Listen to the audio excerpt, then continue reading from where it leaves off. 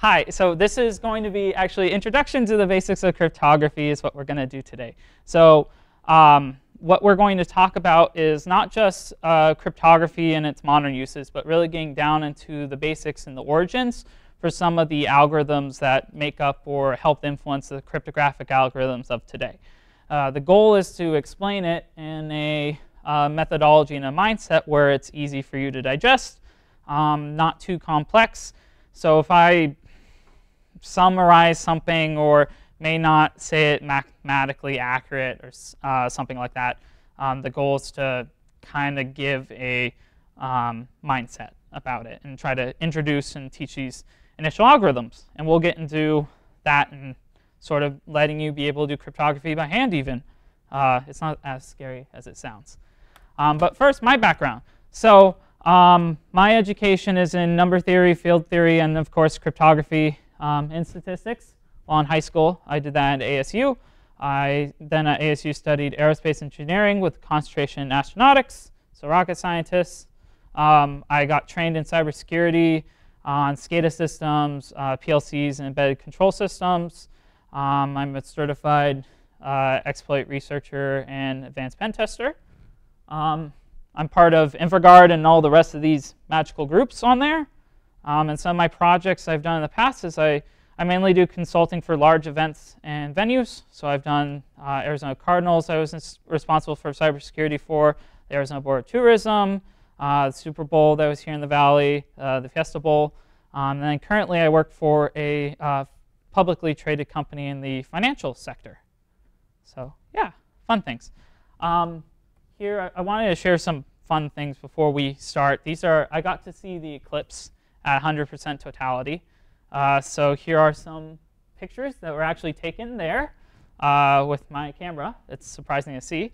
Um, it's relevant because Bruce Schneier and some other guys from our crypto realm were all there.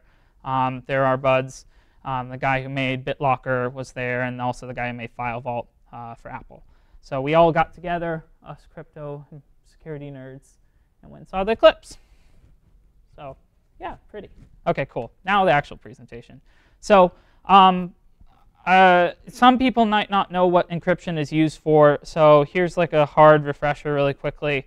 Uh, encryption used every day. It's in your wireless communications. It's in your hard drives, um, your internet connections, um, sometimes your email with PGP or with TLS connections, um, and then also hashing every day with passwords and one-way kind of um, operations, which are not technically encryption, but um, lumped in that uh, sum of kind of that realm.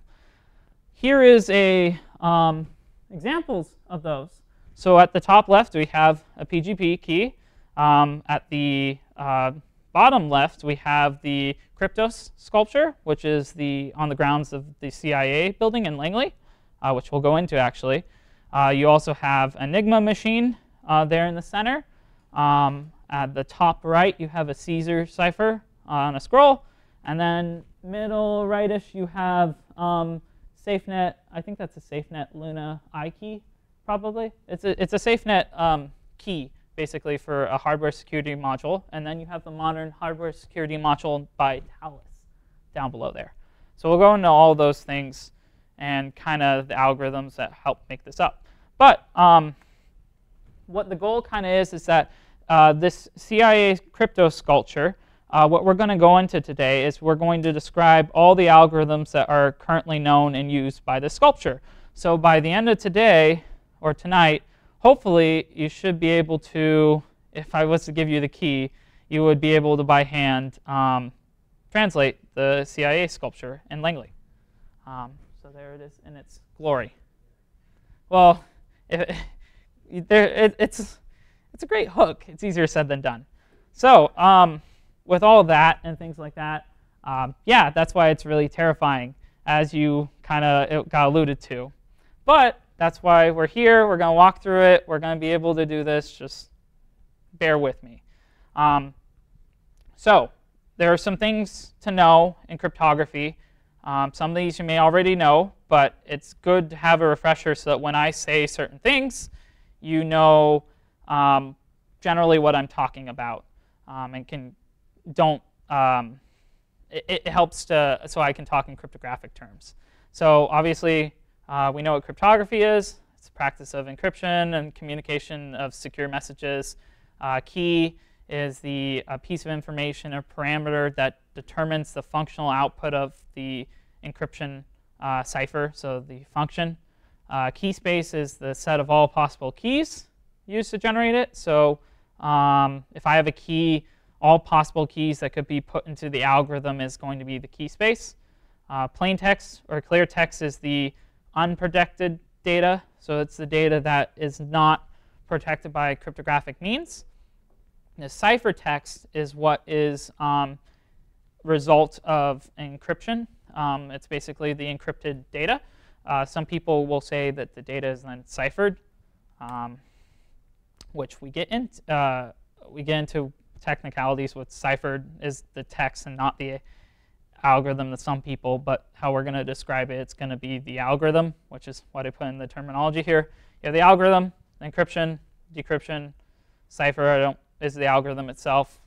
Um, we typically talk about Alice, Bob, and Eve, the eavesdropper, and then Mallory, the malicious person, and then brute force, uh, basically how you go through to find the key, manual operations, cipher suites, which are combinations of authentication, encryption, key exchange, and um, identity algorithms, uh, cryptographic systems, kind of self-explanatory.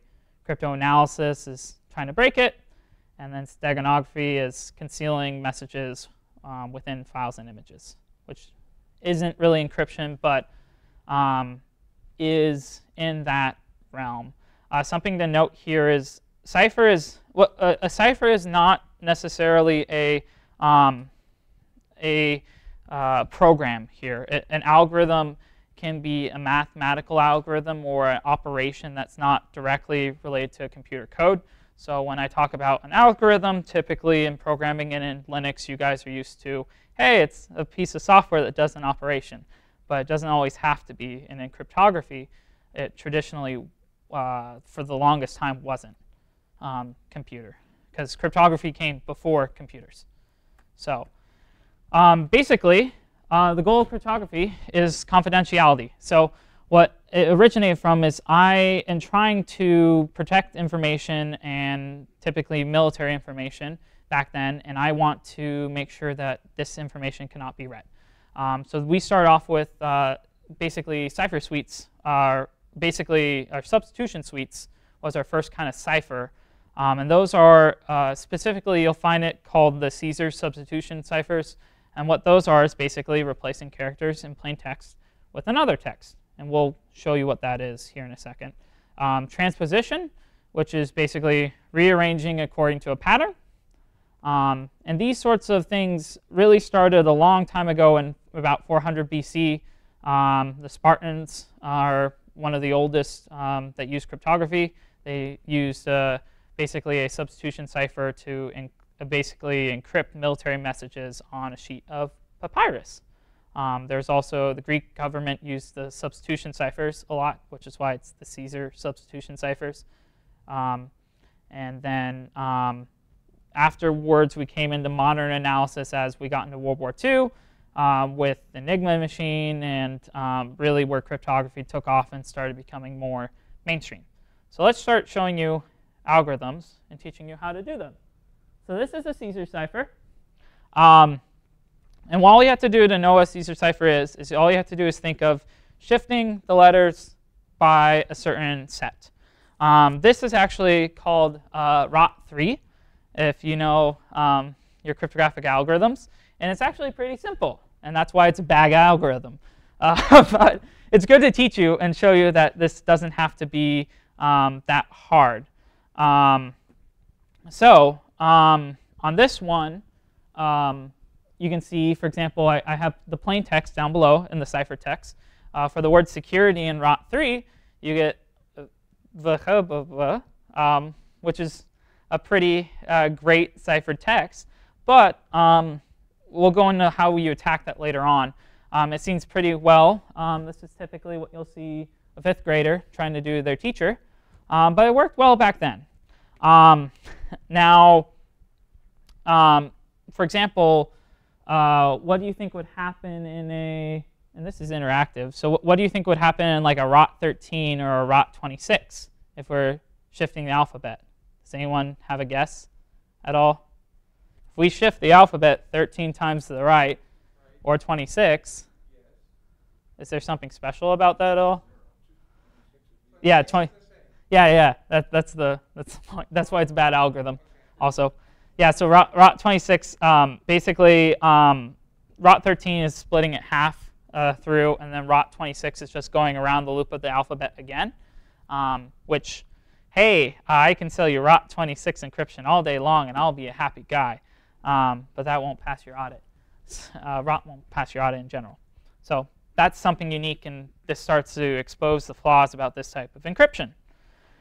Um, now there are uh, also rotation ciphers, um, which are basically the rotation ciphers are um, what we just talked about. They are the ROTs, they are the Caesar ciphers, where basically we are shifting the uh, subset uh, of characters a certain distance. Um, where ROT, as I said, dash the number, where's the number of characters that you're shifting to substitute.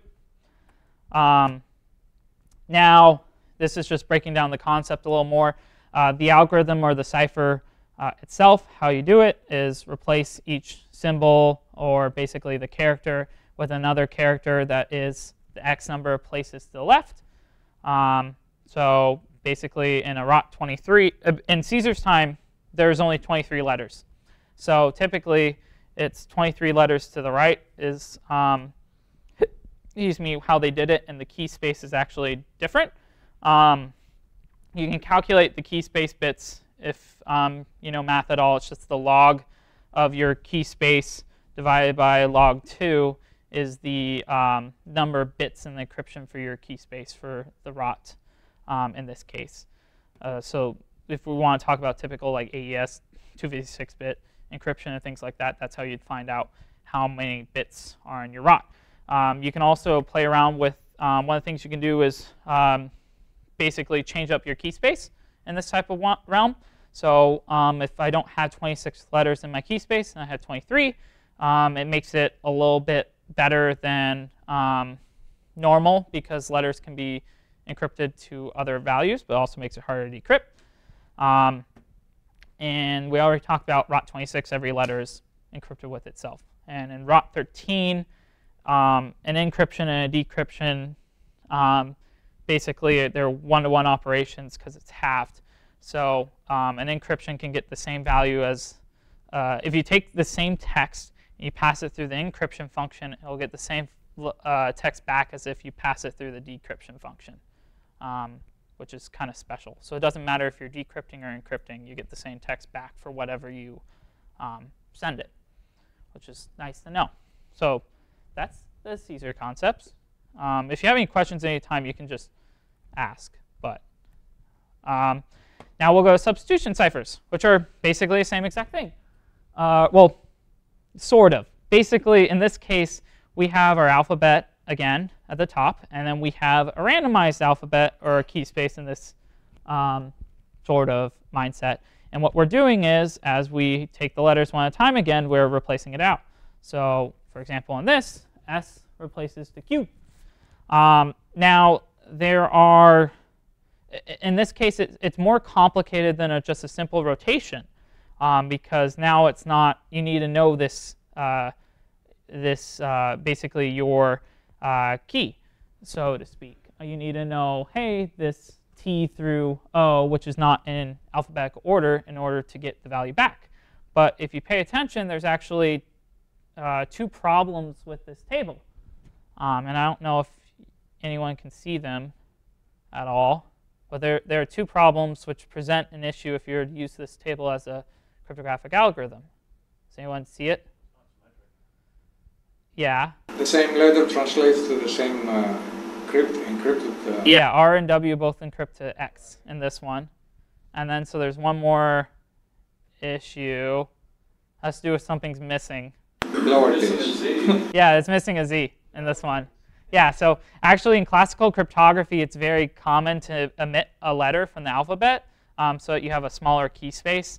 Um, so, um, for example, a 25-letter alphabet fits in a 5 by 5 matrix um, to be used for uh, certain types of ciphers called Playfair ciphers or the Polybius um, squares, um, which we don't get really into.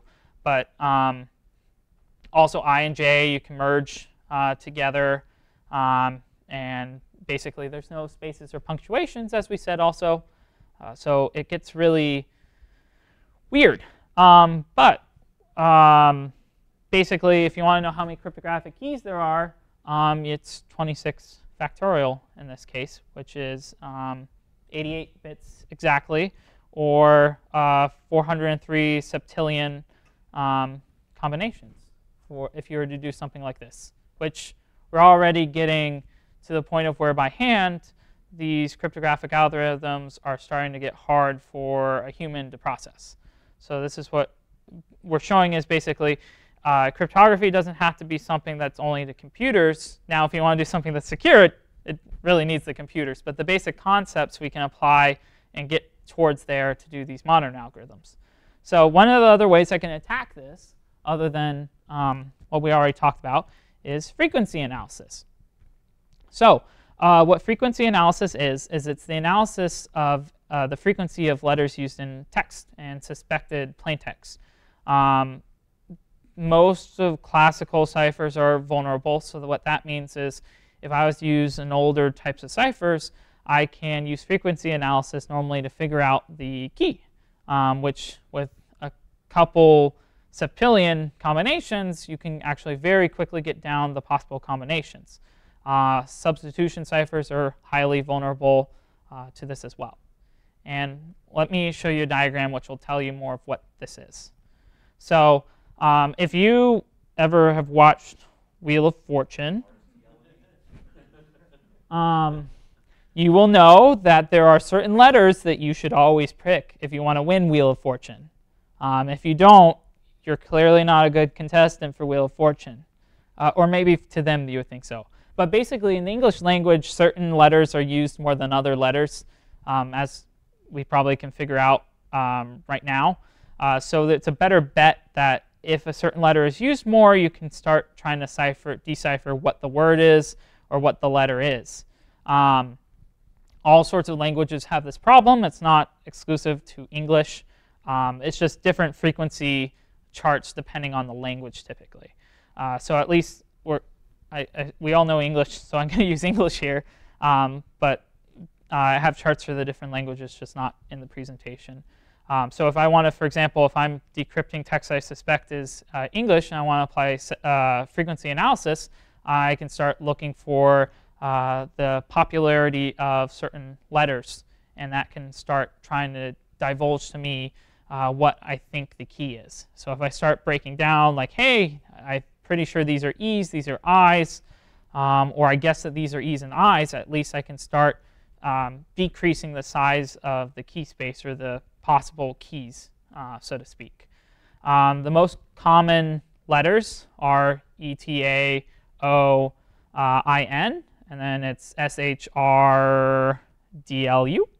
Um, and it's like, there's a mnemonic to it, but I don't remember it. It's like Etunshujulu or something.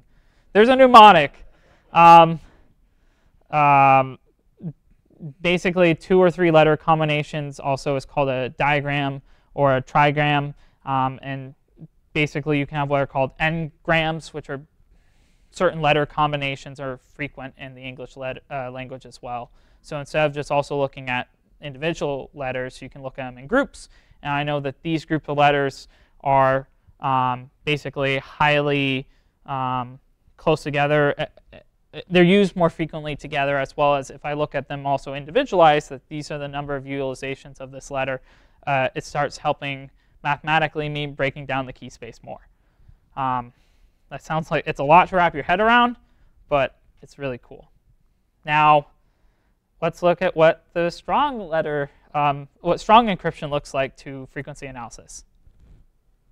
And that's what it looks like. Actually, uh, that's actually, so yeah, uniform, basically. I know, right? So strong encryption and modern encryption, typically for a lot of algorithms, actually, uh, they do some tricks which we'll talk about so that um, you actually can get more of a uniform letter frequency.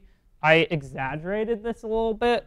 It's not like That's an optimal. I mean, this is optimal. I don't really want to like do a.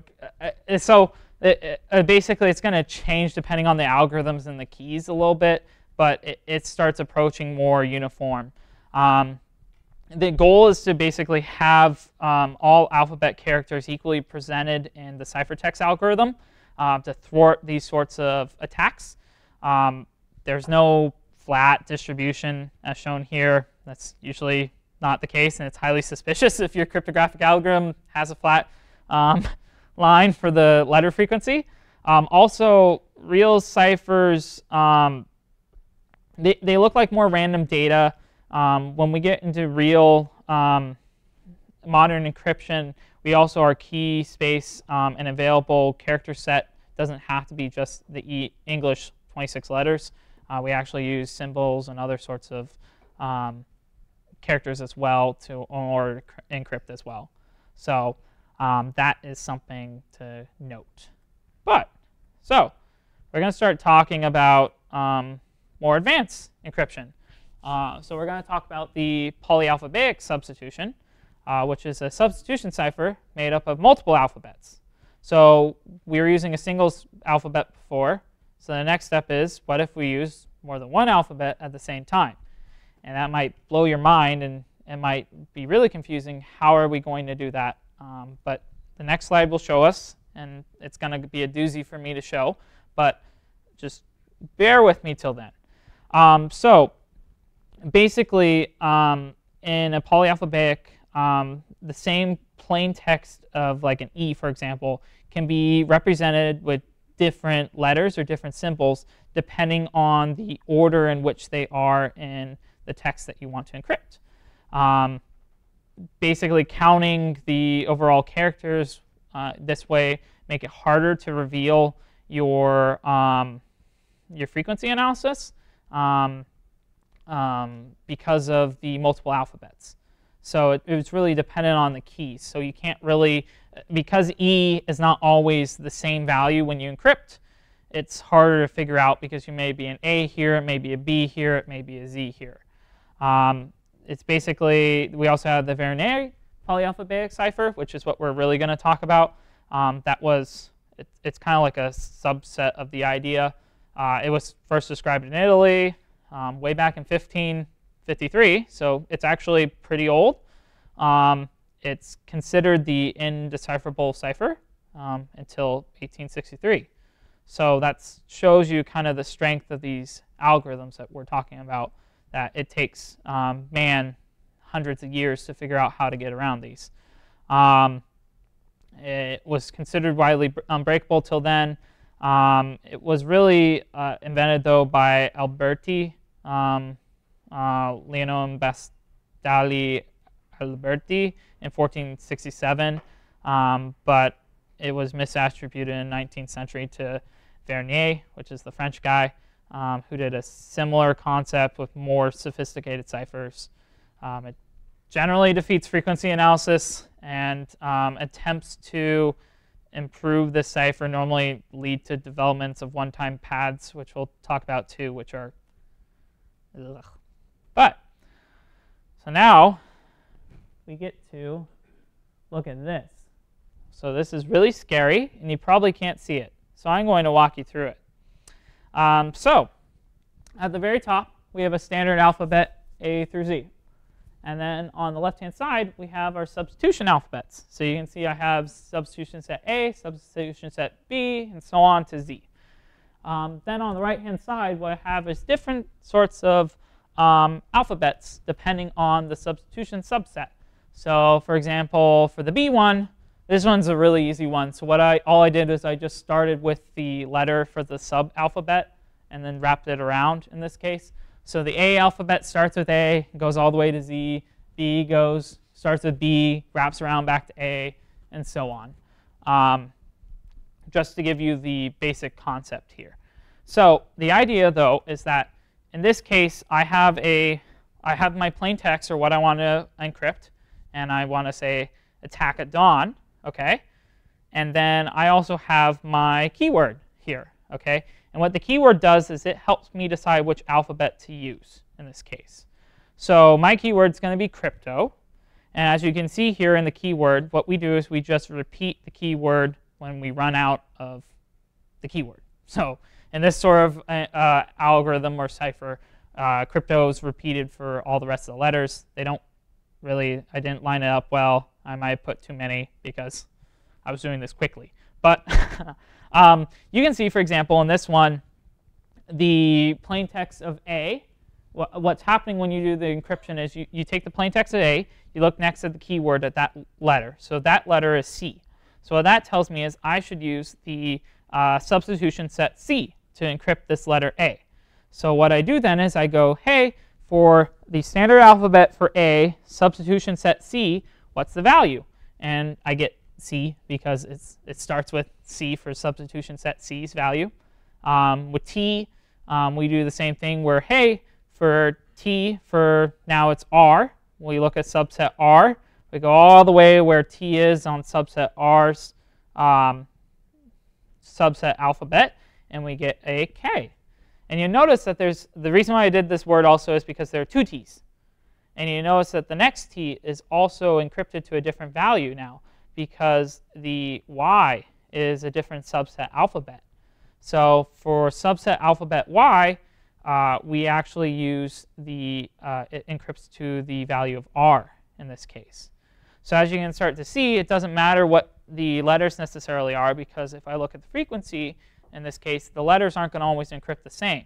So it's going to jumble up my frequency algorithm uh, a lot more uh, to try to decide out what um, this means. And the keyword is actually, um, the more random the keyword, as you can try to start to see as well, um, the keyword can kind of influence your frequency um, analysis. Excuse me. So the more random the keyword, the less you're going to use the certain substitution uh, set alphabet. Um, you can see in this one, I'm, I mean, I'm going to use over and over and over the same alphabets all the time, um, which can kind of lead to attacks.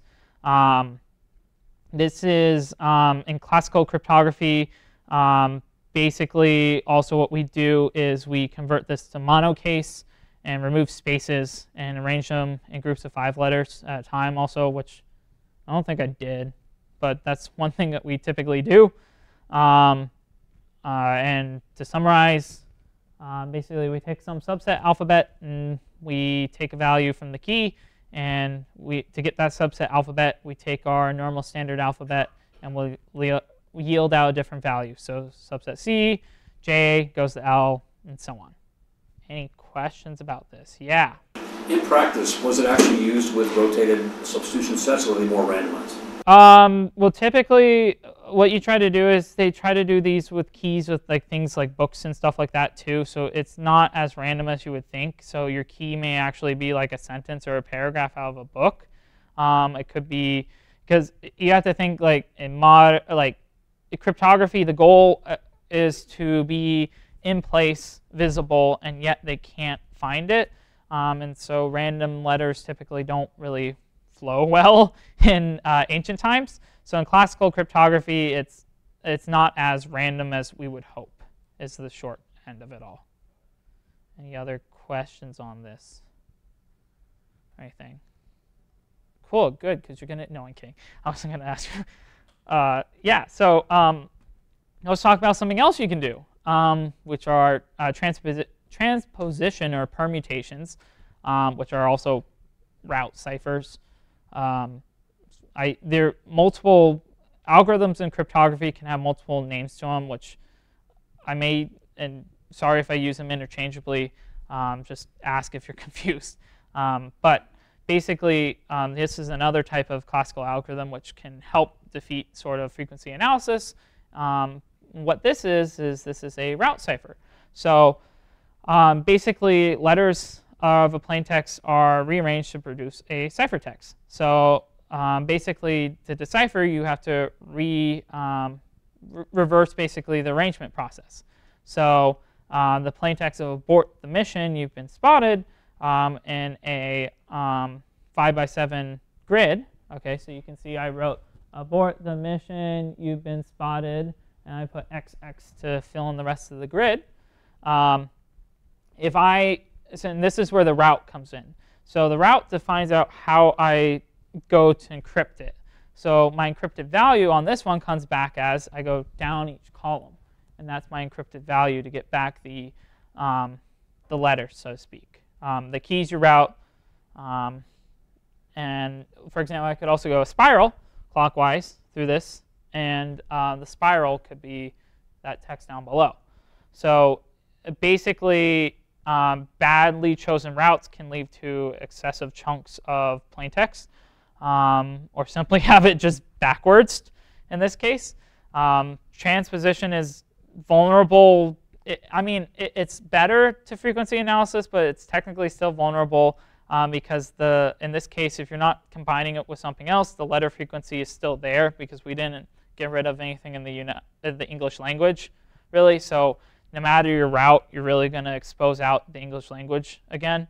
Um, it can be attacked by not using, traditionally you don't really use the single letter on, on route ciphers. You want to use bigrams and anagrams. So basically the groups of letters work a lot better in route ciphers. Um, and you need to know then, uh, to decrypt it, you need to know first off the route. So how did I go about creating this? And then also the width and height of my grid.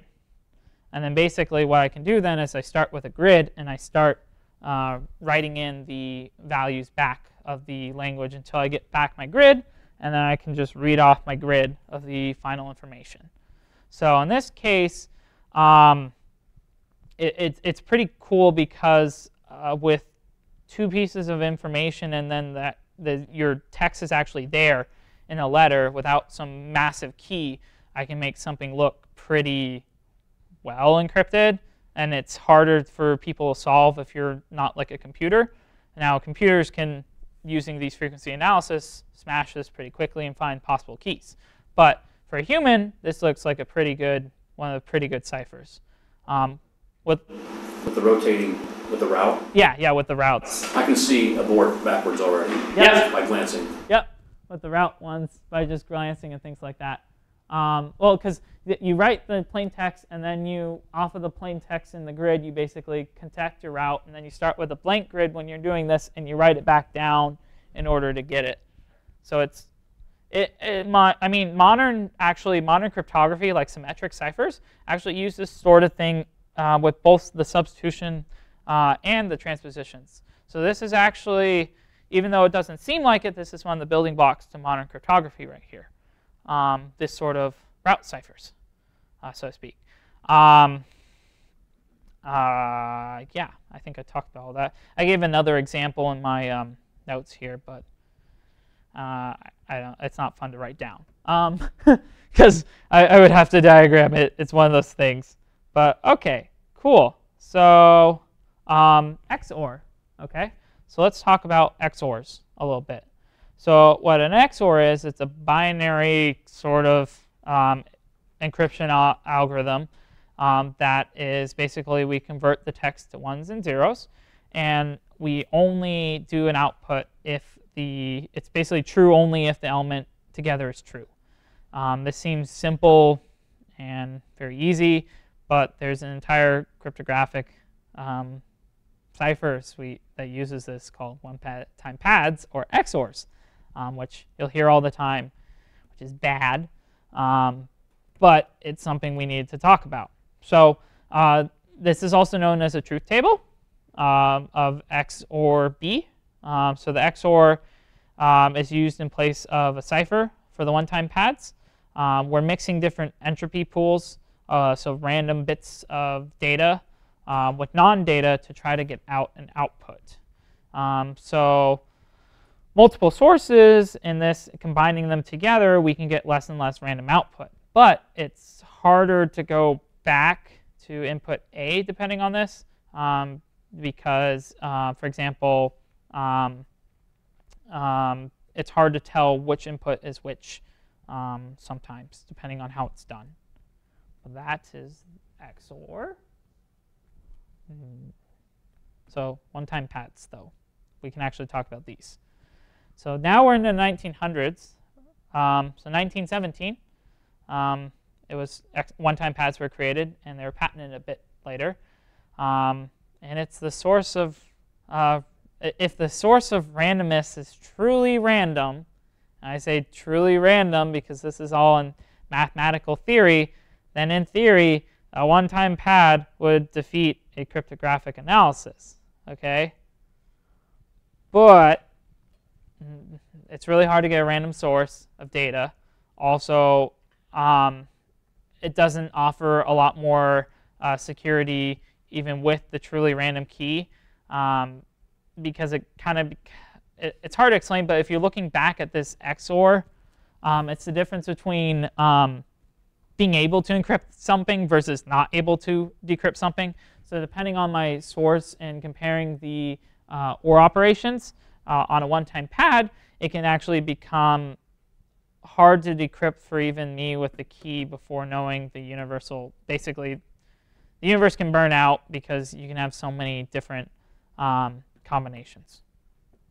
Um, and basically, you can never decrypt it. Um, key can also never be used again, and it's supposed to be a one-time pad, so hence the word one time. Um, and the requirement for your key length makes it really hard for it to be used for anything else generally um, because you have to have a very, very large key length. Um, so the large key length plus the truly random data and the fact that reverse an operation takes a lot of computing power makes it a very bad generally thing. Um, so yeah, it's one of those things basically. so with that in mind, we're going to talk about something else, which is really fun. So we're going to talk about um, steganography, because what's cryptography without steganography? So um, remember with cryptography, the art of cryptography, what we're trying to do is we're trying to make a message um, in plain sight that can be uh, not, basically, if you had the message and you saw the message in plain sight, you're not going to be able to decrypt it um, so that my message can flow freely, you can read it, and you're not able to decrypt it.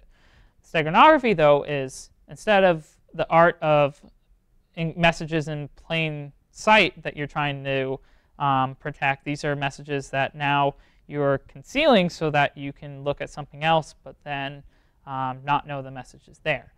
Uh, so it's a little bit like counter to cryptography in a sense, and that's why we talk about it. Um, it's also kind of the exact opposite of what we did before. Um, and it's opposite of, I, oh, I didn't talk about, well, what we'll talk about next is Kerckhoffs' principle, um, basically. Um, so in ancient Greece, um, they basically used to, uh, one of the things that was considered for steganography is uh, they used to tattoo words onto the backs of slaves' heads when they were shaved off, and then they'd wait for all the hair to grow in, and then ta-da, you can't see the message. Uh, that has its flaws, obviously, because all you have to do is just wait for a, a, bad hair day and then they have to get all shaved off. Um, also, modern printers, you have things like invisible ink. You have with basically like the yellow dot patterns, which identify serial numbers and the um, who printed it. Yep, date, time, who printed it, where.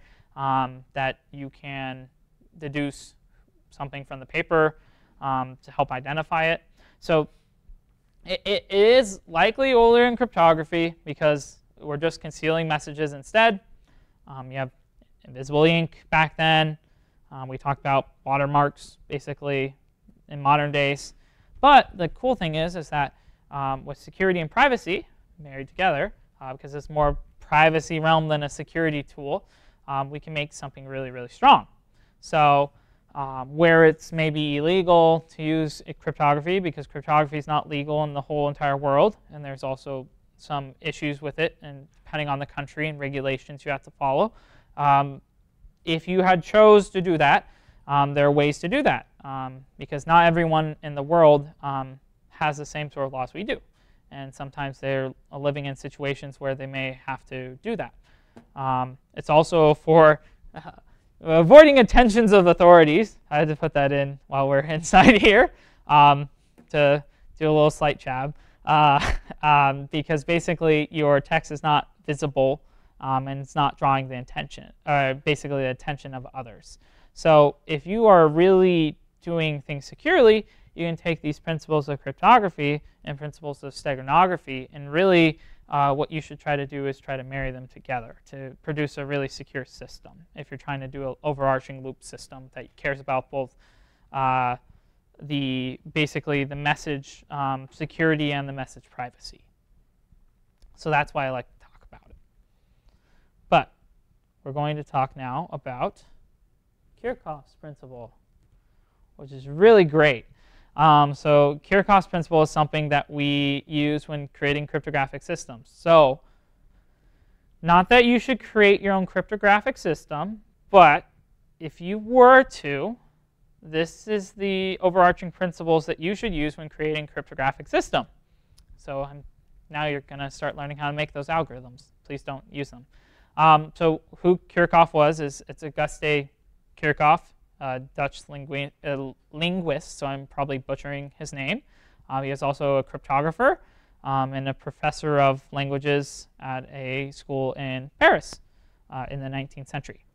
Um, basically, this is the underlying principle when creating um, publicly available strong cryptographic systems.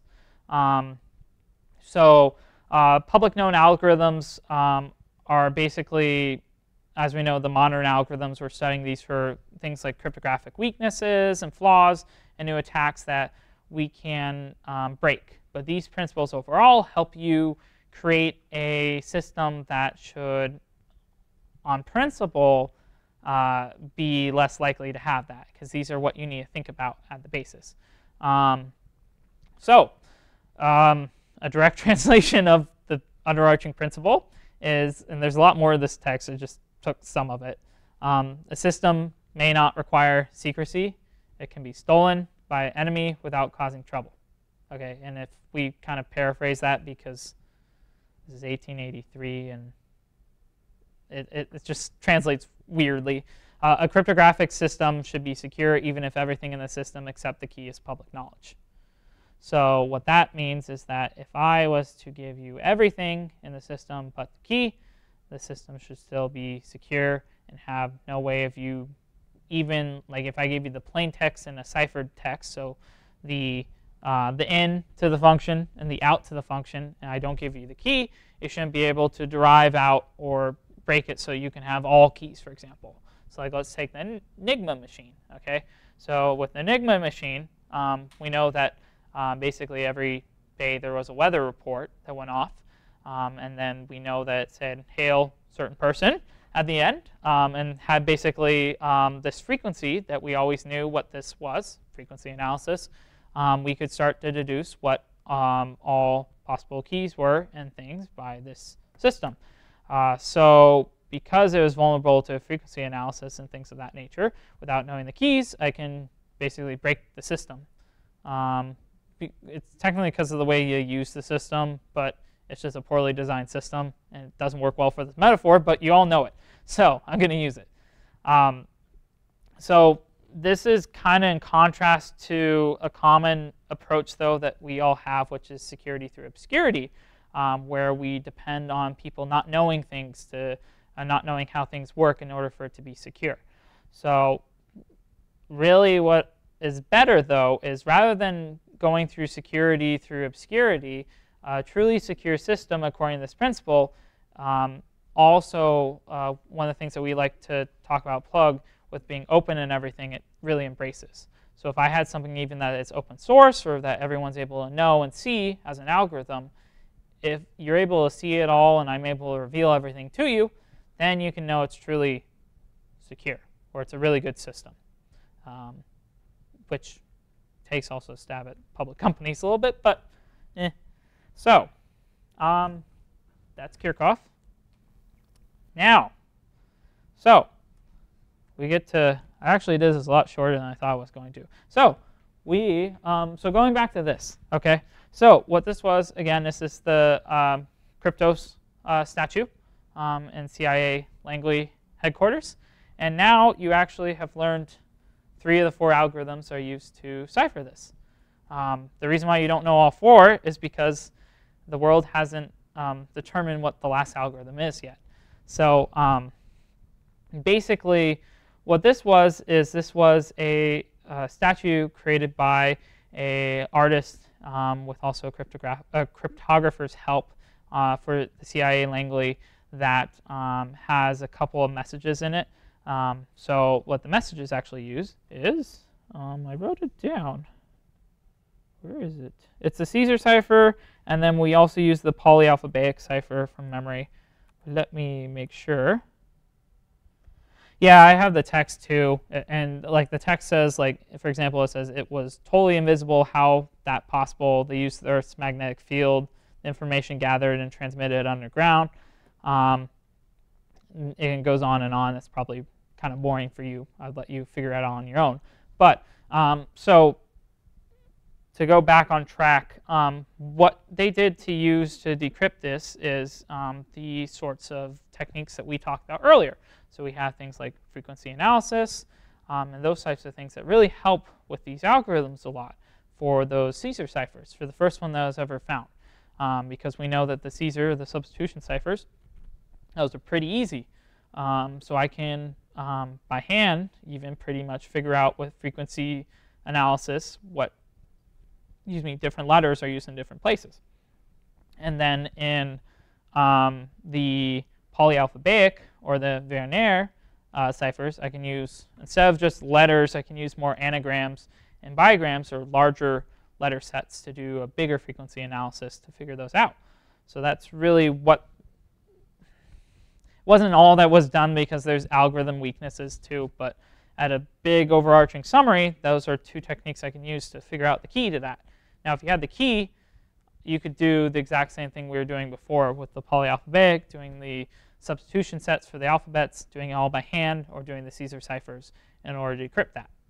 Uh, there's also uh, another one of these types of statues. There's one at a university.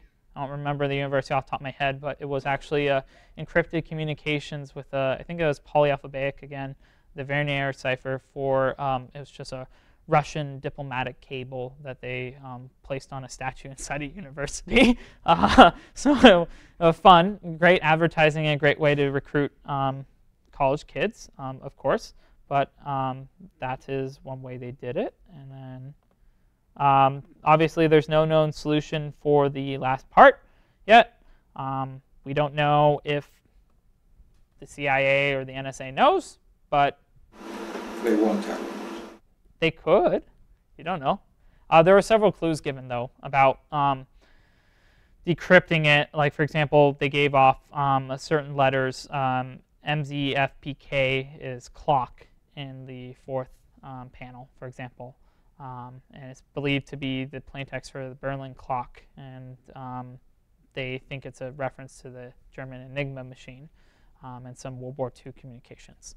But you can go try to use what you learned to try to decrypt that. So um, I did this really quick, uh, but that is the presentation. So if I advance, yeah, that's my email. That's my PGP key because this is cryptography. Uh, and then what's meant to happen is uh, there's a second part, which hopefully we get to do. And that's where now using this knowledge, we get to go into the modern algorithms and apply those, these simple ones um, to modern algorithms. But I am welcome to go back through with our remaining time through any of the algorithms and go more in depth and explain them or do any of that exercises if you want. Or if you have any other questions, just ask me. So yeah, any questions or anything you want to hear or see, or like what the weather report is. Yeah. Can you go to the, I think the third slide, I think it's wrong what you have written. When you have uh, ROT 3, there it is. So E should point to B. E does point. So security, the plain text in security. Oh yeah, yeah, yeah. I, I used, I didn't use ROT B.